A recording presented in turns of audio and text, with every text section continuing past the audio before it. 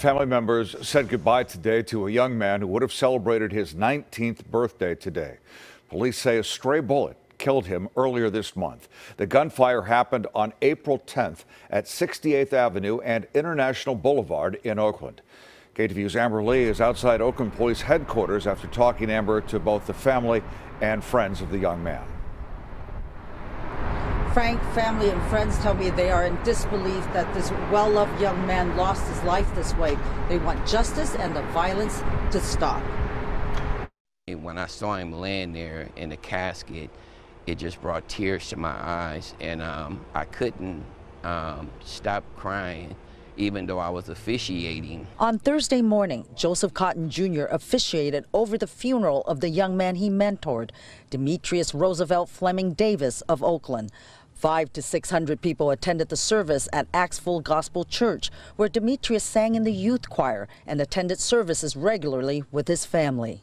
His smile, and you wanted and you wanted to let him get away with anything he wanted because his charm, and he was so smart. But the college student's life was suddenly cut short on April 10th around 6:30 in the evening in the area of 68th Avenue and International Boulevard in Oakland. Demetrius was sitting in a truck with friends going to get something to eat. Investigators say a stray bullet struck and killed him.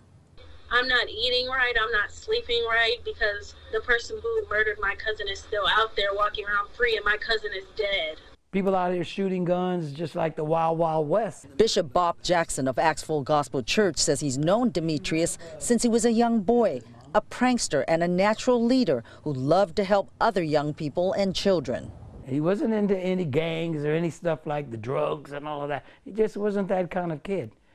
It's just unbelievable. It's unimaginable. Whoever did it, you know who you are, and God knows who you are. And that day is coming that you're going to have to answer to God. One, two, three. Happy birthday! Doves were released at the end of the funeral. Demetrius would have turned 19 years old today. Friends describe him as being super smart and a computer whiz. They plan to hold a memorial service for him Saturday at Berkeley Youth Alternatives, a nonprofit where he was an intern. Frank, Julie, you just don't even know what to say and just feel so horrible for the family. Amber, do they have, the police that is, do they have any leads on this shooting or know who these people were shooting at? They said that the people in the car, including Demetrius, were not the target. It was a stray bullet, and they're asking the public for help. Sure hope that they catch the person who was responsible. Amber Lee in Oakland tonight. Thank you.